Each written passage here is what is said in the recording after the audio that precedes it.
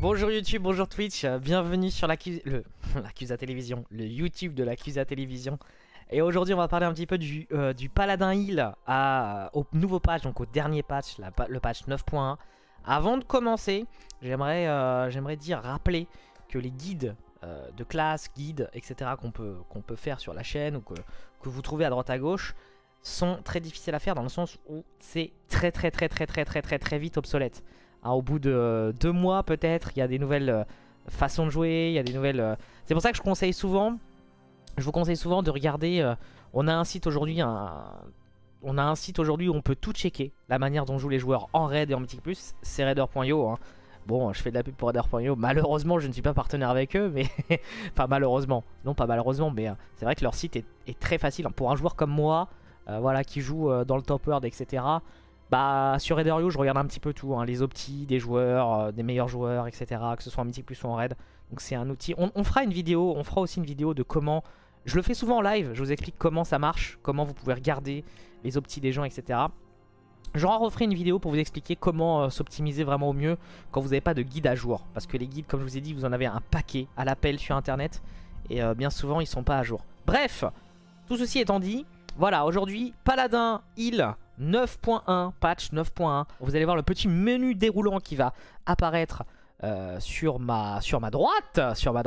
Donc aujourd'hui, on va parler donc du Paladin Hill. On va commencer par les congrégations Kyrian, Ventir, on le sait, c'est les deux congrégations les plus jouées. Je, je, vais vous en parler dans un premier temps. Ensuite, on va parler des talents utilisés en Mythic puis en Raid. Ensuite, les stats utilisés en Mythic Plus et en Raid. Les conduits qu'on va utiliser. Les légendaires qu'on va utiliser en Mythic Plus et en Raid. Euh, les enchantés gemmes qu'on va utiliser en Mythic Plus et en Raid. Euh, les trinkets, pareil, que euh, je peux vous conseiller. Et enfin, on parlera de gameplay. Voilà, parce que vous le savez, hein, jouer en Mythic Plus et en Raid, c'est vraiment deux gameplays différents, deux façons de jouer différentes, deux opties différentes. Donc on va parler de tout ça. Voilà. Euh, commençons, commençons. Qu'est-ce que je pense de, de Paladin Kyrian, Paladin Ventir? On me demande souvent sur mes lives, Kusa, qu'est-ce que je dois jouer? Ventir ou Kyrian? Alors honnêtement, je vais être 100% honnête avec vous. Ventir est au-dessus de Kyrian. Voilà. Ventir est au-dessus de Kyrian si vous faites du raid et du mythic plus. Je ne conseille pas forcément de jouer Ventir. Parce que jouer Ventir demande une certaine, euh, une certaine avancée dans le jeu. Il faut que vous ayez déjà un petit peu d'expérience sur le paladin pour pouvoir bien utiliser votre Ventir. Euh, alors que Kyrian est beaucoup plus facile à jouer, beaucoup plus plaisant à jouer, euh, beaucoup plus versatile aussi. Parce que le Kyrian, euh, vous pouvez, le jouer totalement en PvP. Hein. En PvP, Ventir, c'est un enfer. Hein. J'ai fait premier jour du patch 9.1, j'ai été chercher le 2.15 sur mon pal en Ventir. C'était un enfer. Bon, je dis c'était un enfer. Avec l'expérience que j'ai, quoi. Mais Ventir est beaucoup moins efficace en PvP que, que le Kyrian. Le Kyrian est vraiment mandatory, j'ai envie de dire, obligatoire, quoi, j'ai envie de dire, en PvP. Mais bref, la différence entre Ventir et Kyrian, c'est que déjà en, Ventir, bah, vous avez beaucoup plus DPS qu'en Kyrian. Voilà, et aujourd'hui, euh, dans le PvEHL, ce qu'on recherche, c'est surtout du DPS et pas du soin, contrairement à ce que beaucoup pensent. Euh, Ventir, pendant 30 secondes, vous allez faire et des dégâts et du soin.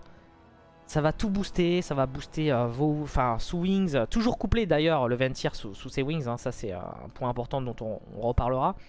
Euh, comment, expliquer ça? Ventir c'est 4 minutes de CD, le Kyrian c'est 40 secondes.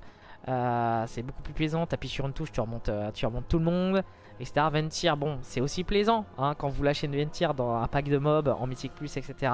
Et que vous avez même pas besoin de healer parce que c'est très fort, etc. Bref, les deux sont très bien.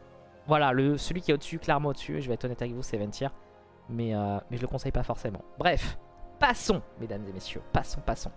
On va parler donc des euh, talents utilisés en Mythic Plus, puis en Raid. On va donc commencer par les talents utilisés en Mythic Plus. Alors, encore une fois, comme d'habitude, ce que je vais vous donner dans cette vidéo, ce sont des conseils, la manière dont moi je joue. Hein, on n'est pas obligé de suivre à la lettre ce que je dis. Vous faites comme vous le sentez. Je, vous conseille même de jouer... Si vous trouvez les talents que je vais vous donner, vous n'arrivez pas à jouer avec, je vous conseille de continuer de jouer de la manière dont vous arrivez le mieux, hein, avec lequel vous êtes le plus habitué, parce que bien sûr tout ça demande une habitude de gameplay, comme je l'ai dit en début de vidéo. Il faut s'entraîner, s'entraîner pour bien maîtriser. Ce que je vous conseille là, c'est actuellement les talents avec lesquels on joue euh, en multi plus 24, 25. Euh, on est le combien? On est le, euh, on est, nous sommes le 26 août 2021. Donc euh, j'ai à peu près 2700 de Raiderio. Euh, j'ai clean euh, bah, bien sûr Sylvanas mythique deuxième semaine du progress. Donc voilà, tout ceci encore une fois, attention à prendre avec des pincettes en fonction du moment où vous êtes dans la saison. Parce qu'il y a souvent des nouvelles méta qui se créent, etc. Mais voilà, jouez ce qui vous paraît le mieux. Jouez avec vos préférences. Et au fur et à mesure, en tout cas, ouvrez votre esprit à ce que je vais vous dire. Je, ne vous oblige pas à jouer comme moi. Ce sont des conseils. Mais vous verrez que par la suite, vous trouverez que ces talents sont bien. Si au début vous n'y arrivez pas, c'est normal. Faut juste s'habituer. Alors je vous conseille de vous entraîner avec les talents que je vous donne. Et au fur et à mesure, ça va venir tout seul. Et euh, vous trouverez ça euh, très très bien. Donc les talents utilisés en Mythic Plus actuellement. En Mythic Plus actuellement, nous jouons avec Marteau de Lumière. Marteau de Lumière. Et on ne joue plus avec Puissance du Croisé. Vous voyez, à la 9.0.5, on joue au marteau du croisé, en puissance du croisé, pardon. Et aujourd'hui, nous jouons donc au marteau de lumière. Pourquoi marteau de lumière? On, me demande souvent ça d'ailleurs. Pourquoi marteau de lumière? Déjà, premièrement, puissance du croisé a été complètement nerf. Frappe du croisé aussi a été nerf. Alors surtout a été up en termes de coût en mana. Donc maintenant ça coûte beaucoup plus cher, etc. Puissance du croisé a été nerf. Ça réduisait l'Orion sacré euh, plus avant, etc. Maintenant ça réduit un peu moins l'Orion sacré. Donc contrairement à la 9.0.5, où vraiment tout, notre gameplay tournait autour de l'Orion Sacré, ce n'est plus le cas. Marteau Lumière, pourquoi? Pas pour le soin. Marteau Lumière parce qu'on va l'utiliser sur les packs de mobs, en offensif. Hein, vous êtes toujours au corps à corps quand vous jouez Paladin, en Mythic+. Plus. Vous êtes au corps à corps. Et donc, sur les packs de mobs où il y a plus de 3 mobs, vous allez essayer d'avoir toujours votre Marteau de Lumière. Marteau de Lumière, consécration, vous le savez comment ça marche pour DPS le plus possible. Marteau de Lumière, ça va être quasiment 10% de mon DPS overall sur, ah, sur la fin d'une clé. Donc voilà pourquoi on joue en marteau lumière. Et pas en soin, ça va pas beaucoup healer, c'est pas l'objectif. L'objectif c'est vraiment de gagner du dégât, du dégât sur les packs, etc. En mono, euh, essayez de garder toujours votre euh, marteau de lumière sur les packs, hein, plus de 3 mobs, etc. Mais pensez que c'est une mine de CD. Pensez, euh, vous pouvez l'utiliser en mono bien entendu, mais pensez que s'il y a un pack et que vous allez tuer le mob sur lequel vous êtes, il y a un pack juste après de 10 mobs, essayez de garder votre marteau de lumière. Marteau de lumière, voilà. Premier talent, niveau 15, en Mythique Plus. C'est ce que je vous conseille. Niveau 25, avec quoi on va jouer? Je vais vous conseiller de jouer avec Jugement de Lumière, qui va vous apporter un petit passif de soin. Là, pour le coup, c'est un talent pour le soin. C'est un passif qui va être, quand vous allez mettre un jugement, et d'ailleurs pensez, hein, dans votre cycle DPS, on fait quasiment que DPS en paladin. Pensez dans votre cycle DPS à toujours utiliser votre jugement on CD, voilà, on cooldown. Parce que bah, ça va apporter un petit passif, le jugement fait énormément de dégâts, etc. etc. Voilà, très intéressant. Ligne de talent 30. Alors, la plupart du temps, vous, allez jouer en lumière aveuglante, que vous, avez, que vous allez utiliser quand on n'a plus de kick, hein, quand on n'a plus d'interruption euh, sur les mobs qui font des, qui font des castes. Euh, vous pouvez aussi jouer au repente de temps en temps, en fonction des mobs, je sais pas, moi, sur les mobs que vous pouvez cesser, euh, je sais pas, par exemple, Necrotic Wake, les mages, les mages sur Necrotic Wake, que vous allez cesser. Mais la plupart du temps, nous sommes quand même en lumière aveuglante qui va apporter un CC. Voilà, un CC euh, sur les mobs que vous, sur lequel vous n'avez pas d'interruption. Très intéressant. Ligne de talent 35, esprit inflexible. Voilà, c'est le, le talent qui va vous apporter le plus de, euh, survie, voilà, avec euh, une réduction du, temps de recharge, de bouclier divin, de protection divine et d'imposition des mains de 30%. Donc c'est un talent qui est très intéressant, surtout en Mythic Plus, quand vous faites des, bah, donjons à plus de 30 minutes, 40 minutes. C'est très intéressant. Ça, vous permet de récupérer tous vos CD défensifs très rapidement. On va pas jouer en cavalier, pas besoin. Et on va pas jouer en reine de la loi, non plus en mythique plus. Ça, c'est une ligne de talent dont euh, tout le monde doit jouer comme ça. Ligne de talent 40. Alors là, c'est intéressant. Là, c'est intéressant parce qu'à la 9.0.5, on joue en Vengeur Sacré. Aujourd'hui, on joue en Dessin Divin. Pourquoi? Eh bah ben, parce que justement, ce que je vous disais, c'est que l'Orion Sacré, on ne l'utilise plus. Euh, on va surtout utiliser au maximum les mots de gloire. Pourquoi? Pour favoriser le proc des wings, justement grâce au talent éveil. Hein, le talent éveil qui euh, va faire que mots de gloire et lumière de l'aube ont 15% de chance de vous conférer Kourou Vengeur pendant 10 secondes. Ça c'est très intéressant. C'est euh, Le talent éveil est giga important en Mythic+. On ne jouera que avec éveil sur la ligne 45. Et on va faire un maximum donc de, de dessins divins. On va faire un maximum de mots de gloire pour, euh, pour essayer de proc donc nos wings. Les wings vont nous booster notre soin, vont nous booster nos dégâts en AOE, en mono. Donc c'est très très très très très intéressant. Il y a encore des gens qui jouent en Vengeur Sacré, en petite clé. Voilà, euh, parce qu'ils sont habitués, ils ont joué Paladin toujours avec Vengeur Sacré. Mais c'est à haut niveau de clé, on ne joue plus du tout avec Vengeur Sacré.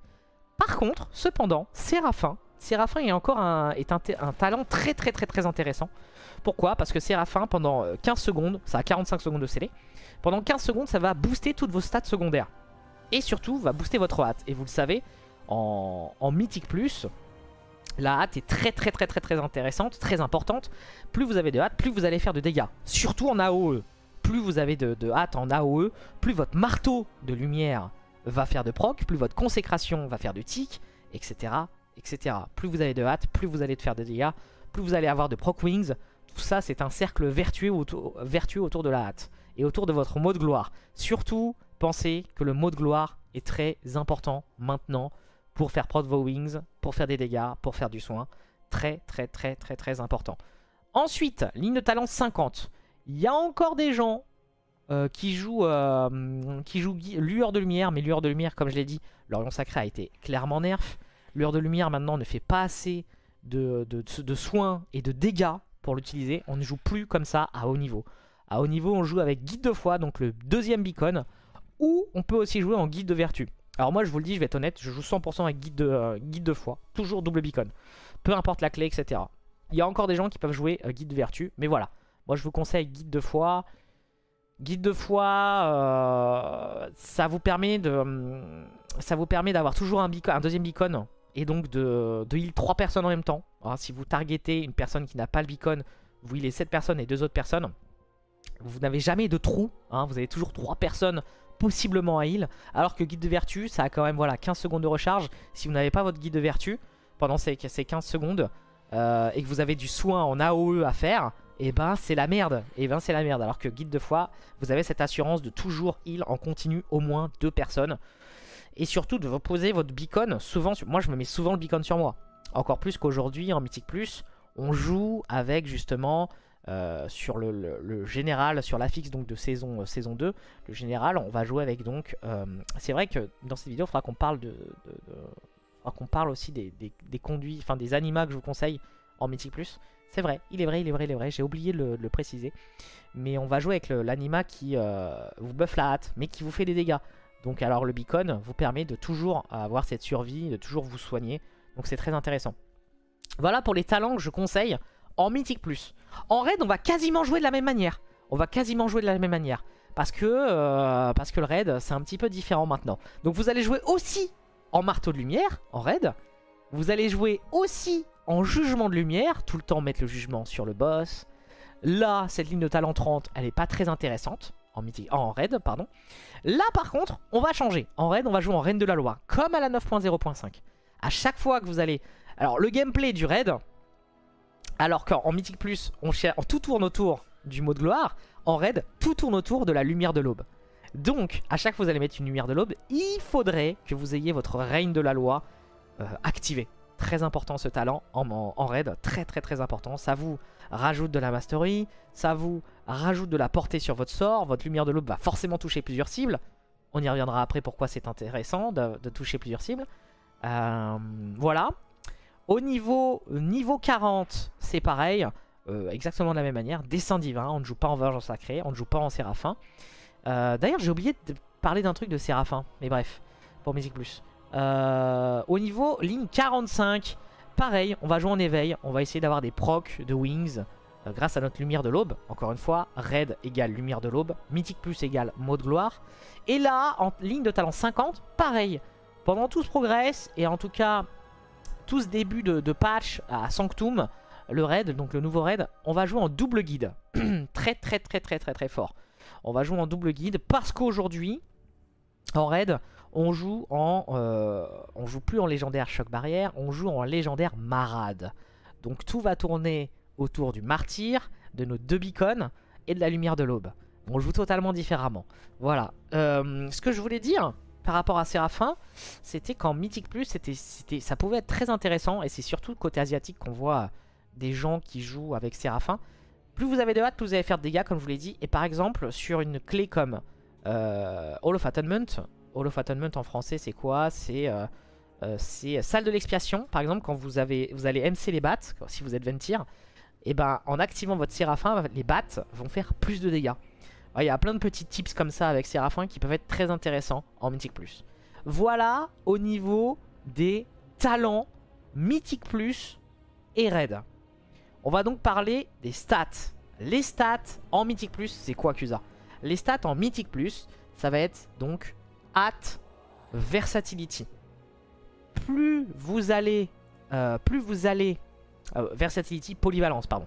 Plus vous allez monter en niveau de clé, plus la polyvalence va être intéressante en Mythic Plus. At, comme je vous ai dit, ça va augmenter vos dégâts. Ça va vous permettre de faire plus de cycles, de, charger plus de, de, charge du, de charge du sacré, etc. Plus vous avez de charge du sacré, plus euh, vous allez dépenser de mots de gloire. Plus vous avez de mots de gloire, plus vous allez avoir de proc de wings. Donc les wings, vous le savez de quoi je parle, c'est ceci. C'est ceci les wings qui va booster, euh, qui va tout booster, hein, qui va booster les dégâts, les soins et chances de coup critique augmenter de 30%. Donc euh, plus vous avez de wings, plus vous êtes fort, plus vous êtes puissant. Euh, et, plus on monte en niveau de clé, plus la polyvalence devient intéressante. Pourquoi la polyvalence? Parce qu'elle vous augmente vos soins, elle vous augmente vos dégâts, et elle augmente aussi votre, votre survie. Plus vous avez de Versa, plus vous avez de polyvalence, pardon, plus, enfin moins vous prenez de dégâts. Donc cette stat est très importante. Plus vous allez monter en clé, parce que plus on monte en clé, plus c'est difficile, plus on prend de dégâts sur les habilités des boss, des, des trash, etc. Voilà. Donc voilà pourquoi la hâte, polyvalence, giga important en Mythic Plus. Très très très très important. La Mastery on s'en fout. Le crit peut être intéressant. Euh, on y reviendra après sur les trinkets. Hein. je vais parler du rubis. Le rubis sous, euh, sous euh, bénédiction cendrée. Donc votre Ventir. Le crit est intéressant uniquement sur ça, sur des plein de packs de mobs. Vous allez avoir plein de ticks qui vont crit. Ça peut être intéressant. bref. Bref, bref, bref, bref. mais c'est vraiment hâte polyvalence en Mythic Plus. Vous voyez, de toute façon, je suis... Euh, je suis... Euh, vous voyez ma fiche de personnage qui est totalement en hâte polyvalence. Je n'ai même aucune gemme de hâte, ni aucun enchant de hâte. Je suis en full polyvalence parce que de base, j'ai 36% de hâte. Bon, après là, j'ai le buff Théotard, mais tranquille. Euh, en raid, là, en raid, ça va être différent. En raid, on va jouer en hâte mastery, égale crit, égale polyvalence. At Mastery, parce que justement en raid, on va beaucoup utiliser Lumière de l'Aube. Euh, on ne va pas faire beaucoup de mots de gloire. Alors, en vrai, si, on fait quand même beaucoup de mots de gloire en mono. En tout cas, pendant le progress, on a fait beaucoup de mots de gloire en mono parce que le raid, justement, Sanctum, il y a beaucoup de debuffs qui font des dégâts sur une personne en plus des tanks, etc. Voilà pourquoi Marad est un légendaire très intéressant. Ça vous permet, Marad, le légendaire Marad vous permet donc de, soigner en AOE et en mono à la fois. Et vous force à faire du mono. Et on a besoin d'un healer dans, les compos heal qui fait du mono sur les debuffs qui vont faire vraiment mal en mono. Donc euh, en raid, at, mastery, polyvalence, égale crit. Parce que c'est pareil, le crit euh, va être intéressant sur les martyrs. C'est lumière du martyr, oui, oui. Vous savez, c'est un sort instantané qui va vous faire des dégâts. Et qui va, euh, bah, avec le légendaire marade, qui va, quand vous avez un proc euh, quand vous avez un buff de la lumière de l'aube, et eh ben ça va, ça va marcher, le, martyr va marcher sur la personne que vous faites, ainsi que les deux beacons. C'est pour ça que c'est très intéressant. Et il ne va pas, euh, avec ce légendaire, vous n'avez pas de réduction de soins sur les beacons. C'est 100% du martyr qui part dans les deux beacons et sur la personne que vous targetez. Voilà pourquoi c'est très très fort. Et c'est très bien design pour ce raid. Parce que ce raid, comme je vous ai dit, on a besoin d'AOE heal, donc lumière de l'aube. On a besoin de mono, euh, donc tout ce qui est debuff. Et on a besoin de healer les deux tanks. Donc voilà, c'est très intéressant d'avoir toujours un beacon sur un tank et d'avoir un deuxième beacon sur une personne qui a un debuff, etc. Et encore mieux quand vous avez deux paladins, vous avez un beacon sur chaque tank. Vous pouvez avoir deux beacons sur chaque tank. Et là, vous n'avez jamais de problème de soins sur les tanks, ni même sur les debuffs. Voilà en ce qui concerne les stats. On va parler, euh, on va parler, on va parler. Alors, c'était pas prévu dans le menu, mais on va parler des gemmes de domination les gemmes de domination que je conseille en Mythic Plus et en Raid. Alors je le rappelle, il y a des gemmes de domination Enoli, il y a des gemmes de domination Blood, donc sang, et il y a les gemmes de domination Frost, euh, Givre. Quand vous avez trois gemmes de domination plus la part de domination, parce qu'il faut et les gemmes et il faut une part sur laquelle vous pouvez mettre les gemmes, je sais, c'est un, un vrai bordel. Et bien vous avez un bonus quand vous avez ces trois parts de gemmes. Imaginons, j'ai 3, 3 blood. Et ben, si je suis en raid ou à Cortia, mes gemmes vont m'apporter un bonus de 7 de gemmes. Et on va être encore plus puissant.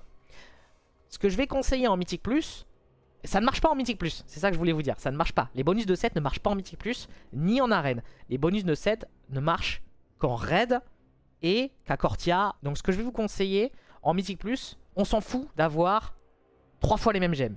On s'en fout, on n'en a rien à faire.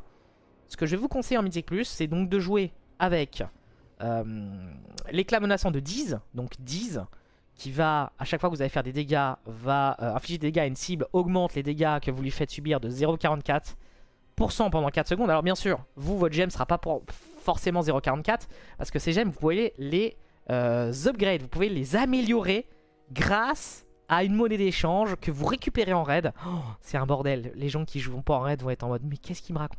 Les braises stygiennes que vous récupérez chaque semaine en raid, et chaque semaine dans la cache, dans la weekly cache, à, Cortia. Donc c'est la nouvelle zone de la 9.1. Ces, ces Stygia là, ces Stygiennes vont vous permettre donc d'améliorer vos gemmes au PNJ qui se trouve en haut de Cortia. Ce PNJ qui est ici va vous permettre donc d'améliorer vos gemmes. Voilà. Donc moi j'ai des gemmes qui sont déjà très très hautes, qui sont quasiment au rang max. Et j'ai des gemmes qui sont un petit peu moins hautes. Donc je vous conseille en Mythic Plus cette gemme là. Donc euh, la gemme de 10, voilà vous allez équiper. Alors bien sûr, il faut les, il parts d'équipement hein, pour pouvoir les équiper. Vous ne pouvez pas les mettre dans un emplacement de gemmes de, de, chasse normal. Il faut que ce soit une chasse du raid. Euh, donc, Zid, euh, 10, pardon. Sur, euh, alors après, peu importe où... Vous n'êtes pas obligé de les mettre sur le, sur le casque, hein, par exemple, 10. Euh, vous pouvez le mettre sur vos gants. Hein, bien entendu, l'emplacement, on s'en fiche, vu qu'en Mythic Plus, le bonus de 7 n'est pas actif. Euh, j'ai quoi d'autre comme gemme? J'ai la gemme qui va faire... J'ai euh, corps, l'éclat de corps. Vos dégâts sont augmentés de 2,25 pendant 20 secondes après avoir attaqué un ennemi que vous n'avez pas encore touché. Donc pendant 20 secondes, pendant 20 secondes les amis, euh, vous allez faire plus de dégâts. Les 20 premières secondes du combat. et puis bah, c'est très intéressant Multiplus vu qu'à chaque fois on engage des nouveaux packs, on, engage des nouveaux mobs, on engage des nouveaux boss, etc. Très très très très très important. Voilà, corps. ensuite, vous allez jouer avec Beck éclat de bec. Euh, vos dégâts sont augmentés de 2,6% lorsque vos points de vie sont supérieurs à ceux de votre site de 50% au moins.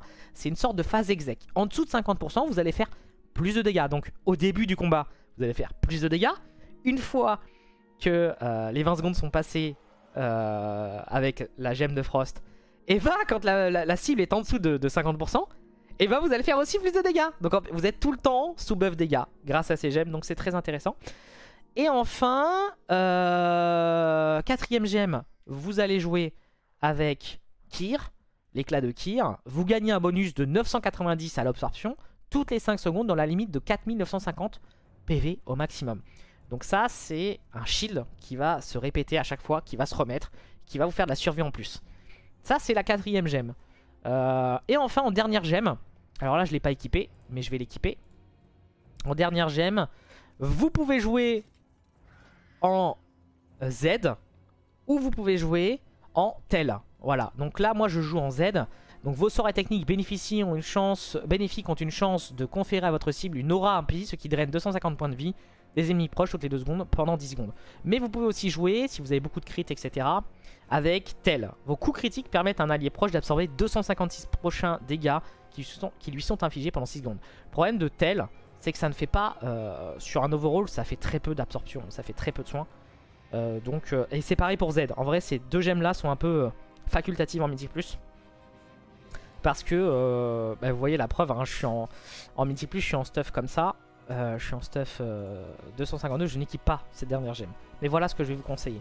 Ne jouez pas avec du, de la ponction en Mythic Plus, ne jouez pas avec les, les soins, vous buff en, en, en endurance.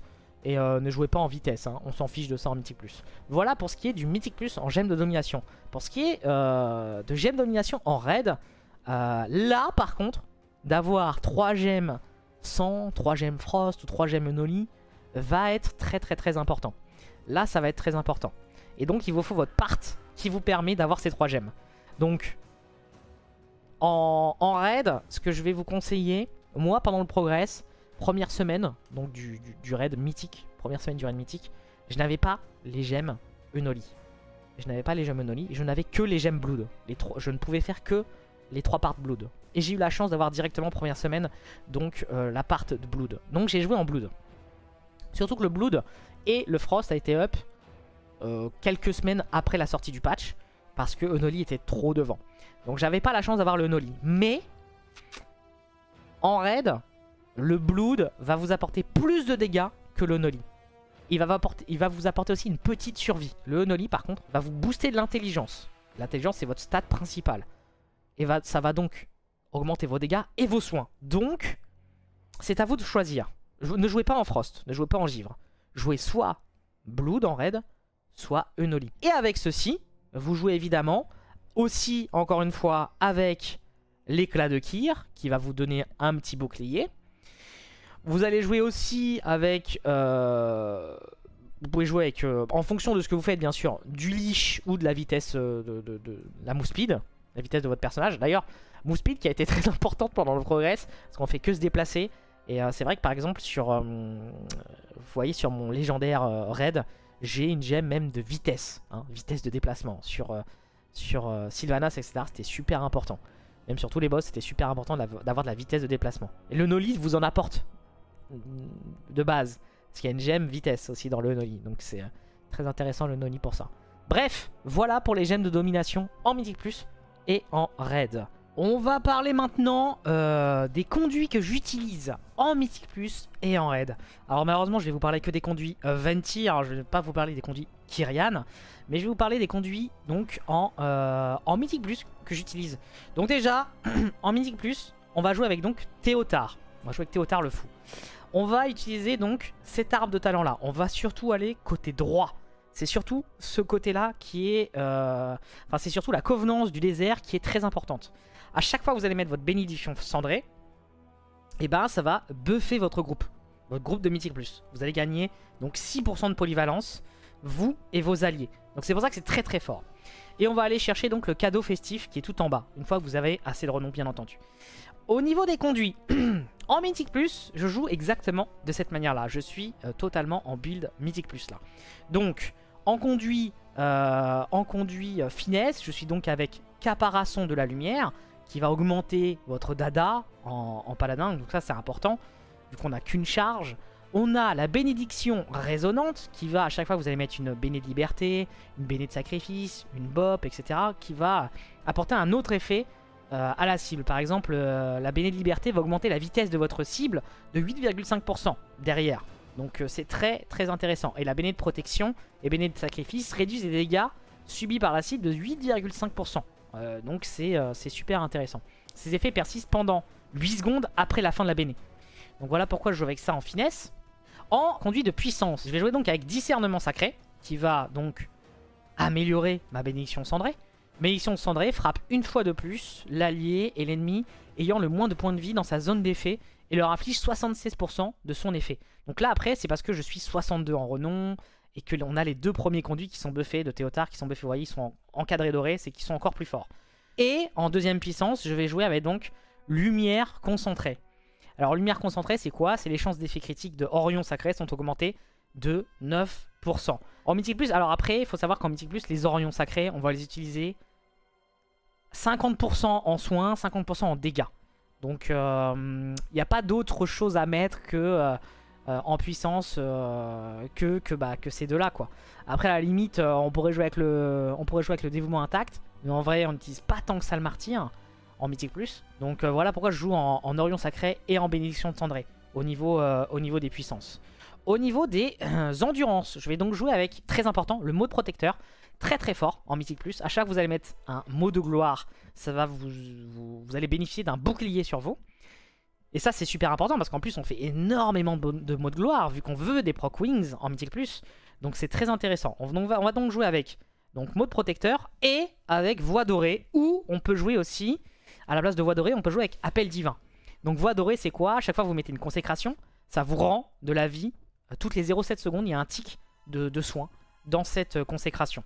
Vous pouvez aussi jouer avec Appel Divin, comme je vous ai dit. Le temps de recharge restant de bouclier divin est réduit de 5 secondes lorsque vous subissez des dégâts. Cet effet ne peut se produire que euh, plus d'une fois toutes les 32 secondes. Très intéressant aussi ce conduit. Voilà. Voilà les... au niveau des conduits que j'utilise en Mythic+. En raid, on va jouer d'une manière différente.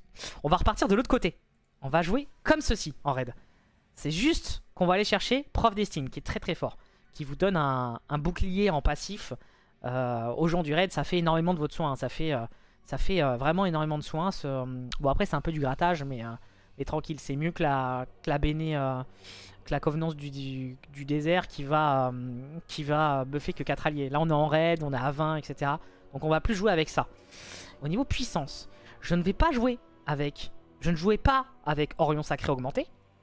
Les chances d'effet critique d'Orion Sacré augmenté, parce que l'Orion Sacré, encore une fois, maintenant, n'est quasiment en raid plus utilisé en soin. On l'utilise quasiment tout le temps en, dégâts. En Mythic Plus aussi, mais voilà, en Mythic Plus, tu es quand même amené à faire énormément d'Orion Sacré. Alors quand, en raid, vu qu'on joue, euh, on joue plus du tout au légendaire Orion Sacré, on joue au légendaire Marade, on va beaucoup jouer à la lumière du martyr. Donc, on va jouer à la place de lumière concentrée, on va jouer avec dévouement intact.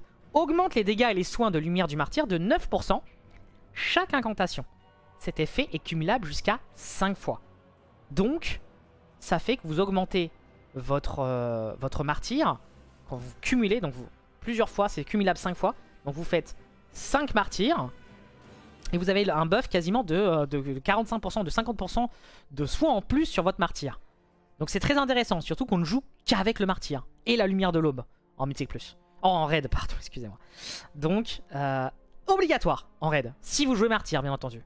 Si vous êtes Kyrian, euh, et que vous jouez encore en légendaire, vous pouvez encore jouer en légendaire barrière choc, c'est pas obligatoire du tout. Mais en tout cas, moi je vous conseille au vu du raid, etc. Vu comment il est design. Encore une fois, la méta peut changer. Hein. Mais actuellement, et au début du progrès, c'était comme ça. On jouait vraiment full martyr avec le légendaire marade. Donc ça, obligatoire. Dévouement intact. Dévouement intact. Euh, autre potentie, autre puissance, pardon. Je joue avec fragment d'armure adaptative. Lorsque vous êtes soigné par un autre personnage joueur, votre intel est augmenté de 3,6% pendant 15 secondes ne peut se produire qu'une fois toutes les 30 secondes. En raid, c'est très intéressant. En Mythic Plus, non, vu que personne ne vous heal. À part si vous avez un Moon King qui vous assiste etc. Mais il y aura trop peu de time. Alors qu'en raid, vous avez toujours un petit passif d'un chaman, une salve d'un chaman, un riptide d'un chaman, le priest qui met un shield sur vous, etc. Tout va vous faire proc ce conduit. Donc très très très très très très très intéressant ce conduit. Et vous êtes donc toujours avec un buff intel. Hein, 4% d'intel quasiment en plus. Euh, avec un très bon uptime de ce buff. Voilà. Alors par contre, en, puissance, vous êtes aussi en discernement sacré. Vous gardez ce conduit-là. Discernement sacré. Au niveau des, euh, des conduits endurance, donc vous pouvez remplacer mot protecteur, vu qu'on fait quand même pas beaucoup de, euh, de, mots de gloire, par sphère d'anima condensé. Tout dégât subi vous rend 4,5% de votre maximum de points de vie. Ne peut se produire qu'une fois toutes les 10 secondes. Ça fait de la survie en plus. Voilà. Euh, donc vous pouvez jouer avec appel divin, alors en vrai, j'ai joué avec Appel Divin pendant le progress parce que il y a quelques boss, on a besoin de la bulle assez régulièrement. Par exemple sur Guardian, sur Guardian, on a besoin de ma bulle parce que je vais aller soak deux fois dans le combat. Donc on a besoin de ce conduit qui est obligatoire. Maintenant, il n'y a plus besoin vu que le, combat est beaucoup plus court qu'avant. Mais au tout début, première semaine de Mythique, bah, Gardien, on avait besoin de soak deux fois. Maintenant, on peut plus soak deux fois. Mais donc voilà, tu, peux toujours jouer euh, Voix Dorée et Appel Divin en conduit d'endurance. C'est toujours, euh, très ok. Voilà euh, au niveau des conduits. Au niveau des légendaires maintenant. On va arriver sur la partie intéressante qui a énormément changé. Donc au niveau des légendaires, en Mythic Plus, c'est vrai que ça n'a pas changé. En Mythic Plus, je joue toujours actuellement en Paragon Fou. Paragon Fou, c'est quoi? C'est euh, Marteau du Kourou, inflige 30% de dégâts supplémentaires, augmente la durée de Kourou Vengeur de 1 seconde, donc c'est vos wings. Et, et donc, en Mythic Plus, je joue qu'avec ce légendaire que je sois Ventir ou Kyrian, je vous conseille ce légendaire. Kyrian, vous pouvez aussi jouer encore une fois en barrière choc. Hein, à chaque fois que vous allez mettre un Orion, ça va faire un petit shield sur la personne. Ça peut euh, être toujours intéressant, mais vous allez perdre énormément de dégâts. Là, en Paragon Fou, j'arrive à des overall dégâts. Dégâts, je parle bien entre 7 et 7k. Entre 5 et 7k, pardon. Donc on arrive toujours à avoir un très bon overall dégâts. Et vous le savez, plus vous montez en clé, plus le dégât du healer est, intéressant, va aider, etc. Donc Paragon Fou, c'est ce qu'il y a de plus rentable. Surtout qu'on fait énormément de mots de gloire qui vont vous faire proc vos wings. À chaque fois que vous avez votre wings, vos wings, vous avez un marteau du courroux. À chaque fois que vous allez mettre un marteau du courroux, vous allez prolonger vos wings de une seconde, etc. etc. Votre consécration va faire plus de dégâts. Voilà, c'est encore une fois un cercle vertueux de jouer en paragon fou et d'avoir des proc wings, donc de faire des mots de gloire. Très intéressant en Mythic+. Plus. En raid, par contre, voilà, là ça a énormément changé. En raid maintenant, comme je vous ai expliqué tout au long de, de ce guide, on joue donc au dernier souffle de Marade. Ça fait quoi? Lumière de l'aube augmente votre prochaine lumière du martyr de 10% pour chaque allié soigné et permet à Lumière du martyr de soigner grâce à Guide de lumière. Donc c'est ce que je vous ai expliqué tout à l'heure. C'est que grâce à ce légendaire, vous avez de l'AO heal et vous avez du mono. Vous avez deux beacons, donc vous avez forcément deux personnes qui sont heal en plus des autres personnes que vous allez target.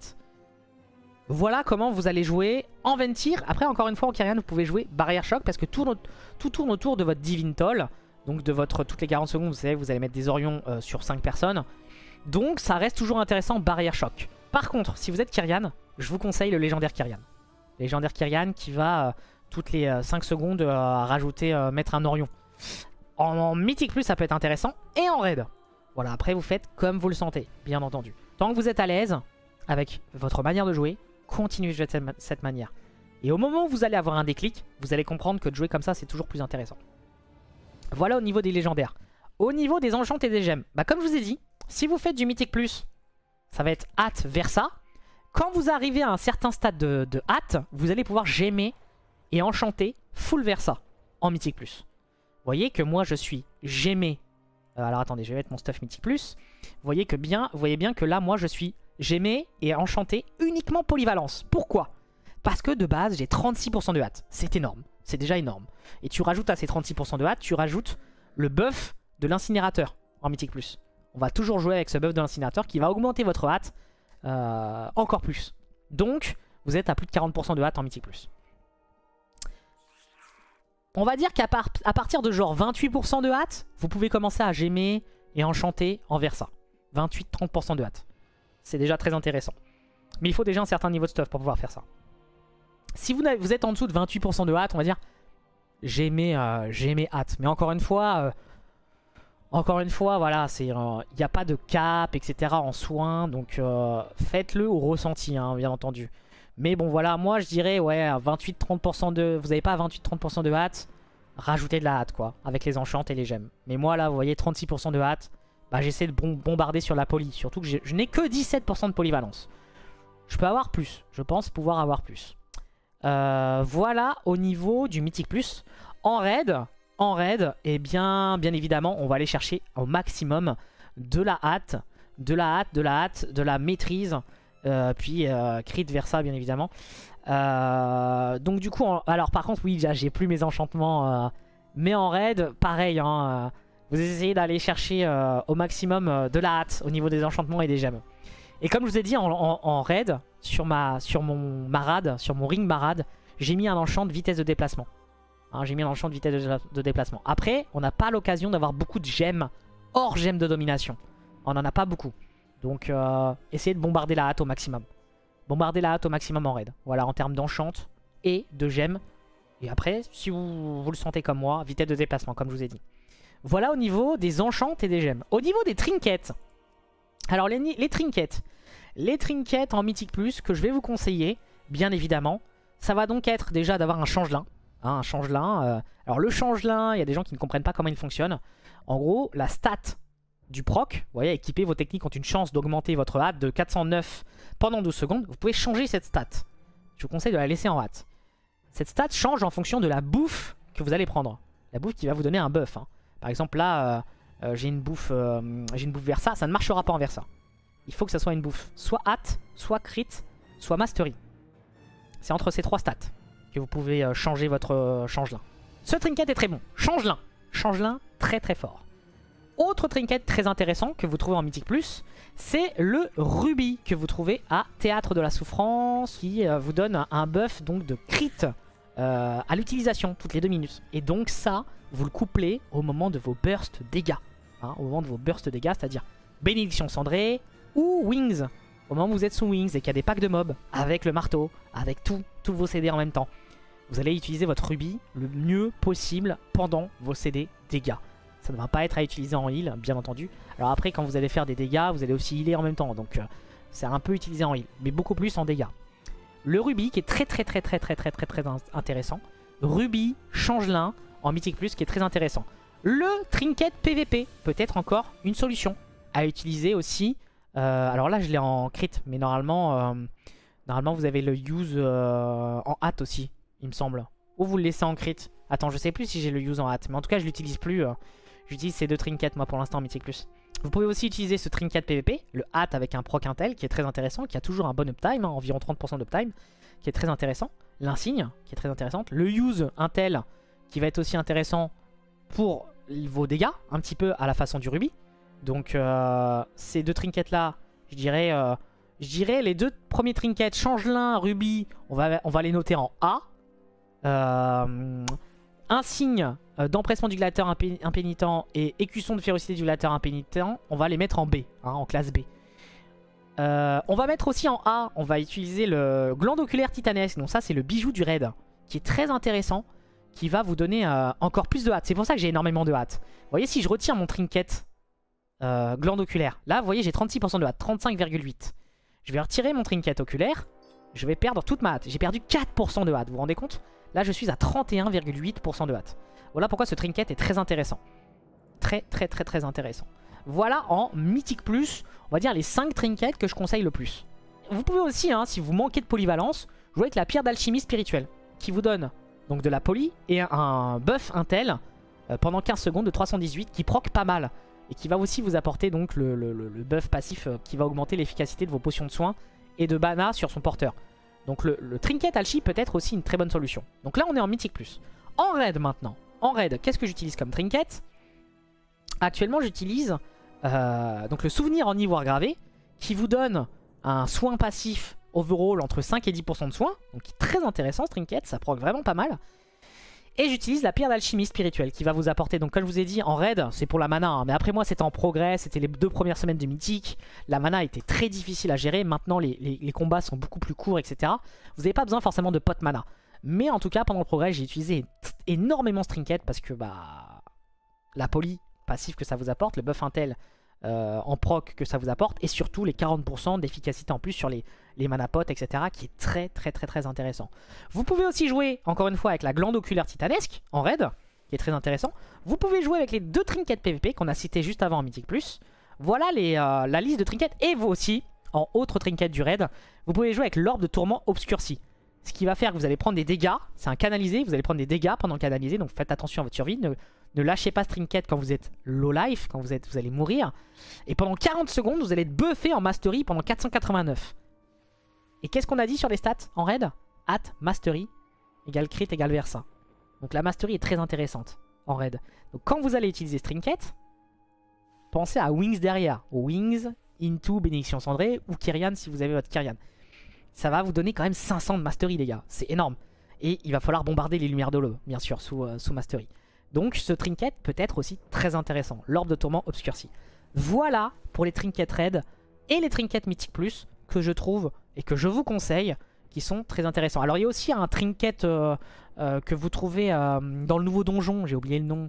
J'ai oublié le nom du Tazavesh, voilà. Mais malheureusement vous ne pouvez l'avoir que vous ne pouvez l'avoir qu'en bas level. Pour l'instant les mythiques plus de Tazavesh ne sont pas encore ouverts. C'est celui-là, ces stringets là. Vos sorts de soins ont une chance de libérer un surcroît d'énergie curative sur la cible. Les alliés proches, ce qui leur rend euh, augmente votre hâte de 249, 247 pendant 9 secondes.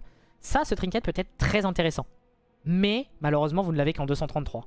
Voilà pourquoi je préfère les autres trinkets. Mais si vous avez ce trinket, il est très intéressant. Ça va vous buffer en hâte, etc. Donc euh, c'est vraiment pas mal du tout. Euh, ce trinket là aussi peut être plutôt pas mal. Vous sélectionnez un personnage joueur de votre groupe ou raid, ce qui augmente de 20 sa caractéristique secondaire la plus élevée vous confère un bonus de 100 à cette même caractéristique pendant 30 minutes. Donc ce trinket aussi peut être intéressant en midi plus et même en raid si vous n'avez pas de, meilleur trinket. Voilà en ce qui concerne les trinkets. Au niveau euh, du gameplay, on va passer euh, sur une petite vidéo que je vais vous passer. Et, et on va pouvoir essayer de vous expliquer du mieux que je peux le gameplay en Mythic Plus et en raid. Alors, le gameplay du paladin en Mythique Plus. J'ai pris un vieux record, euh, enfin un vieux record, un record il y a quelques jours, quand j'ai fait une 23 sanguine dep euh, en pick-up. Il a légèrement changé par rapport au premier guide de Shadowland, par rapport au début de Shadowland. Mais quand même les bases restent les mêmes. Donc toujours être au corps à corps, vraiment, en Mythique Plus. Toujours mettre sa consécration, vraiment dès que vous le pouvez. Vous voyez, on le voit à l'écran, je suis toujours, il y a toujours une consécration. C'est l'un de mes premiers euh, spell que je fais dès qu'il y a plusieurs targets, et même en mono target, hein, même en une seule cible, je vais toujours consécration vraiment on CD au maximum. Le jugement aussi à utiliser le plus possible euh, on CD, évidemment, ça va faire pas mal de dégâts. Le, quand vous êtes sous euh, Kourou Vengeur, quand vous êtes sous Wings, toujours mettre votre, marteau du Kourou en priorité, vous voyez, ça va, avec le légendaire euh, Paragon, Paragon Fou, ça va augmenter la durée de vos Wings, ça va faire des dégâts, euh, ça va faire 30% de dégâts en plus grâce au légendaire, etc. Donc c'est vraiment le marteau du Kourou, votre, euh, votre, votre spell principal. Et là, contrairement au début de Shadowland, où l'Orion Sacré était très important, l'Orion Sacré, je l'utilise le plus possible en offensif, et non pas en soin. Je vais très peu l'utiliser en soin. Et je vais essayer de monter le plus souvent à 3 charges du sacré, pour pouvoir faire des mots de gloire. Un maximum de mots de gloire. Et pourquoi on fait des mots de gloire? Pour justement avoir des procs de wings. Parce qu'on joue avec le talent qui vous fait proc les wings sur vos mots de gloire ou votre lumière de l'aube. En parlant de lumière de l'aube, ne jamais utiliser en mythique plus. En basse clé, vous allez pouvoir l'utiliser, il n'y a aucun problème. Mais en haute clé, vraiment, maximiser le plus possible les mots de gloire à la place de la lumière de l'aube. Je ne fais zéro lumière de l'aube à la fin, du donjon. Vraiment, j'en fais vraiment zéro. À partir d'un certain niveau de clé, c'est vraiment inutile. Et encore une fois, bah, euh, favoriser les, mots de gloire parce qu'en plus on est en double beacon, donc ça va heal 3 personnes en même temps, etc. Et alors là, vous allez me dire, mais Lumière de l'Aube, ça heal 5 personnes en même temps, mais pas autant qu'un mot de gloire. Pas autant qu'un mot de gloire. Et vraiment, comme je vous dis, euh, maximiser la consécration. Si vous êtes sous Wings, les 3 charges du sacré, vous allez pouvoir les utiliser en bouclier vertueux. Hein, les coups de bouclier, qui vous coûtent 3 charges du sacré. Si vous êtes à plus de 3 cibles, n'oubliez pas de favoriser aussi votre marteau au sol. Hein, posez votre marteau dès qu'il y a plusieurs cibles. Si vous savez qu'au bout d'une minute après votre cible en mono, il n'y a, pas, euh, plusieurs cibles, vous pouvez utiliser aussi en mono hein, le marteau, bien évidemment. Utilisez votre marteau au sol. Si, euh, par exemple, sur le boss, là, vous voyez, je l'ai mis directement. Il n'y a aucun problème. Donc là, on voit, hein, il y a toujours mes consécrations au sol, etc. C'est très important la consécration, c'est ce qui fait euh, bah, le plus de vos dégâts sur, sur les clés. Hein. C'est toujours ma première source de dégâts. Ensuite, c'est mon marteau du courroux. Et ensuite, il y a le reste, quoi. On va continuer à regarder un petit peu. Alors, attendez, je vais prendre des packs de mobs. Vous voyez, là, euh, vraiment, c'est exactement ce que je vous dis. Les jugements on CD, la consécration le plus possible. Euh, et bah bien sûr on continue les frappes du croisé hein. On continue les frappes du croisé Même si ça ne réduit pas votre CD d'Orion Sacré On s'en fiche hein. Les frappes du croisé c'est pour générer vos charges euh, du sacré Et qui vont vous permettre donc de faire des mots de gloire et donc proc des wings Et qui vont vous permettre de faire des coups de bouclier etc etc Vous voyez sur les packs je suis à 4k DPS euh, sans rien claquer, hein, sans wings, etc.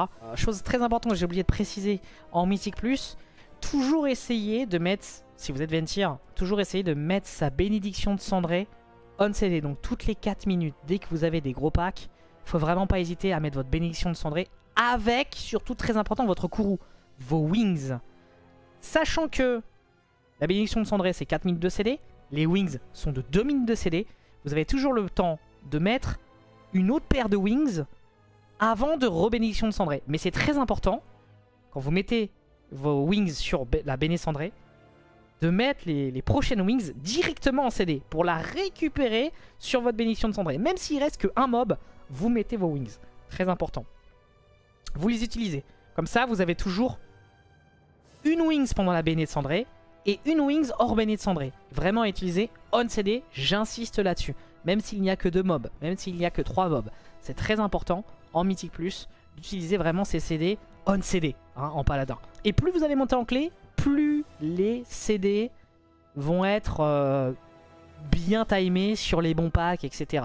Il n'y a vraiment pas à réfléchir et à mettre ça comme il le faut. Il y a quelques situations où tu vas devoir ralentir paramètre de Wings, paramètre de BD de Cendré. Tu vas temporiser un tout petit peu. C'est pas très grave. Mais en tout cas, plus on va monter en clé, plus les CD vont vraiment bien se caler sur les packs et tout. Donc euh, voilà, faut pas réfléchir. J'ai mis ma, bénédiction cendrée un petit peu tard. Et vous voyez, sous béné cendré, euh, les packs de mob, on n'a même pas besoin de heal, on fait que de taper. Vous allez mon, mon, dégât, mon DPS qui va monter, monter, monter. Là, je suis à 15k dégâts, 20k bientôt. Voilà, sous bénédiction cendrée, c'est normal. On fait énormément de dégâts, c'est la force donc de euh, la congrégation Ventir. Voilà en ce qui concerne le gameplay en Mythic+. On va donc passer au gameplay en raid qui est totalement différent du gameplay, euh, du gameplay en Mythic+. En tout cas, la manière de soigner n'est pas du tout la même. Sinon, tout le reste autour reste toujours à peu près pareil avec le jugement on CD, la consécration au sol. Ça, c'est toujours les choses à mettre en priorité. Mais là, cependant, on va un petit peu changer notre manière de jouer, comparer au début de Shadowland et comparer un petit peu au Mythic+. Donc là, le but, c'est toujours faire le plus de charges euh, du sacré possible. Par contre, Là, à contrario du Mythic Plus, on va mettre le plus de, mots de gloire possible. Là, on va mettre le plus de, euh, lumière de l'aube. Bien entendu, toujours euh, avec votre reine de loi. Hein, bien entendu, quand vous allez mettre des lumières de l'aube, quand vous avez trois charges du sacré, toujours mettre un maximum de lumière de l'aube. Pourquoi? Parce qu'encore une fois, on joue en légendaire marade. Et donc, euh, quand vous allez toucher un maximum de personnes, votre prochain martyr va être buffé, donc va heal plus, et va partir totalement dans vos beacons. Voilà pourquoi c'est très important de faire un maximum de lumière de l'aube et un maximum de martyr, tout en faisant des frappes du croisé pour générer des charges du sacré. Donc vous allez voir, je remets, je remets euh, play. Donc là, euh, comme je vous ai dit, j'ai mis un Orion sacré, j'ai mis une frappe du croisé, je suis à 3 charges de Holy Power, de charge du Power. Je mets une lumière de l'aube. Derrière la lumière de l'aube, j'ai donc mon martyr qui est totalement buffé. J'ai donc mis un martyr qui va partir dans mes deux beacons et sur la personne que j'ai target avec martyr. Et bien entendu, toujours pareil, toujours mettre sa bénédiction de cendré couplée à ses wings, très important, et toujours garder la même rotation. Et faire un maximum de martyrs avec le conduit martyr. Vous avez un buff sur le martyr, je ne sais pas si vous voyez, mais euh, je ne sais pas si vous voyez, mais là, on voit à chaque fois que... Là, vous voyez, j'ai mes 5 stacks du conduit qui sont... Euh, je sais pas si vous voyez bien à l'écran, mais j'ai mes 5 stacks du conduit sur le martyr qui sont en permanence là. Et à chaque fois que je vais une lumière de l'aube et qui va buffer mon prochain martyr, on voit aussi un autre Wikora qui est là. C'est très important. Et voilà le gameplay. Tout le gameplay va tourner autour de cette façon de jouer. Lumière de l'aube, priorité healing, hein, bien entendu. Alors bien sûr, des fois on fait des mots de gloire. Quand il y a vraiment des debuffs en mono qui font très très mal, on va aussi faire des mots de gloire. Mais la priorité reste quand même la lumière de l'aube et vos deux beacons. Les deux beacons que vous pouvez switch, bien entendu. Hein, il faut penser à ça, à switch vos beacons. Par exemple, je ne sais pas, euh, euh, sur, euh, Raznal, par exemple, sur Raznal. Un boss où vous allez toujours toujours garder un beacon sur un de vos tanks et vous allez mettre votre second beacon, votre second beacon sur une personne qui a les chaînes. Parce que vous le savez que les, personnes qui sont chaînes vont prendre énormément de dégâts. Et donc vous allez tourner autour de ça. Toujours changer de beacon sur les personnes qui ont un debuff mono. Et donc vous allez tourner autour de ça. Et faire des lumières de l'aube, ce qui va buffer votre martyr et ce qui va healer vos deux beacons. C'est-à-dire que vous allez pouvoir healer une troisième personne. Par exemple, Raznal, encore une fois, un exemple. Vous avez un beacon sur le tank, un beacon sur une chaîne. Vous générez vos charges du sacré, vous faites une lumière de l'aube. Et là, votre martyr, vous allez le mettre sur une deuxième chaîne. Une chaîne qui n'a pas de beacon par exemple. On a beaucoup joué comme ça euh, pendant notre progress à deux paladins. Vous avez donc toutes les chaînes qui se font heal uniquement par les paladins. Un beacon sur un tank, un autre beacon sur un tank et un beacon sur deux chaînes. Et vous allez heal la troisième chaîne très facilement avec les martyrs. C'est très facile de donner une ordre de priorité comme ça. Euh, quand vous avez deux paladins dans un raid, il suffit qu'ils communiquent, qu'ils disent bah voilà, moi je mets mon beacon sur tel tank, toi tu mets le beacon sur tel tank. Et le deuxième beacon, quand tu auras les debuffs, moi je le mets sur la première personne euh, du red frame, toi sur la deuxième personne du red frame, et on heal la troisième personne du red frame. Vous voyez ce que je veux dire? Et c'est très facile, et c'est vraiment très très fort. C'est la grande force euh, du paladin sur, sur Sanctum, c'est justement ces doubles beacons et ce légendaire Marad qui va vous permettre de healer en AOE et vous permettre de healer en mono. C'est extrêmement fort, hein. vous mettez des martyrs à 40k, hein. enfin vous mettez des top life avec un, sort instantané, je sais pas si vous vous rendez compte. La seule chose c'est qu'il faut buffer ce sort avec la lumière de l'aube. Voilà pourquoi la lumière de l'aube est super importante. Voilà pourquoi euh, on joue en conduit martyr, on va encore buffer ce martyr. Et on joue vraiment, il faut toujours en permanence avoir ce buff du martyr. Hein. Vous voyez, en bas, on voit que je suis à 5 stacks de martyr. Donc il faut mettre 5 martyrs. Et après, vos lumières de l'aube font encore plus de, euh, de, soins. Vos lumières de l'aube, vos martyrs, après les lumières de l'aube, vont faire encore plus de soins. Vous voyez, quand je touche, euh, quand je vais faire une lumière de l'aube, je vais essayer de mettre pause au bon moment. Là, vous voyez, là j'ai un buff. J'ai un buff, j'ai un petit buff qui est ici. Ce qui prouve que j'ai touché 5 personnes et ce qui va buffer énormément martyr. Et ce qui va repartir dans mes deux beacons. Vous voyez, mon prochain martyr va healer et le premier beacon qui est Triche et le deuxième beacon qui est Synthos. Regardez, je vais heal Krusty là, je vais lui mettre un martyr. Regardez, hein, les trois targets vont remonter instantanément. Boum Vous voyez, ça a top vie les trois personnes. C'est la grande force du paladin. Avoir de la, là où il avec la lumière de l'aube et avoir du mono juste après sa lumière de l'aube avec son martyr. Euh, voilà, euh, c'est la rotation en raid qui est totalement différente pour le coup euh, du Mythic Plus, comme vous pouvez le voir. On ne joue pas du tout au martyr. Alors, on peut jouer en Mythic Plus en martyr, mais voilà, là vraiment tout tourne autour du martyr. Voilà, concernant, concernant le, le gameplay du, du paladin heal en Mythic Plus et en, en raid. ça va être la fin de la vidéo. Mesdames et messieurs, ça va être totalement la fin de la vidéo.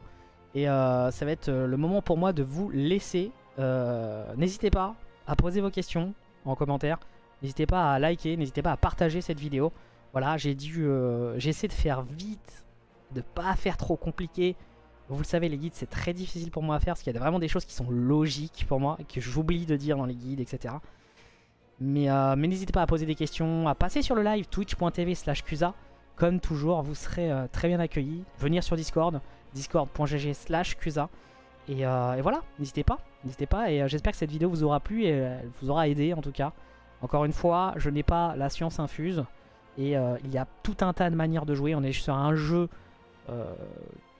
où tout est possible, tout est viable. Il n'y a pas une classe ou une spé ou un légendaire qui n'est pas viable. Plus votre manière de jouer sera adaptée à votre niveau de jeu, à votre difficulté par exemple, en, progress, on joue pas de la même manière qu'en farming, etc. Voilà, c'est des choses à prendre en compte. Euh, et, on ne joue pas de la même manière en top world et bien sûr à un niveau plus bas.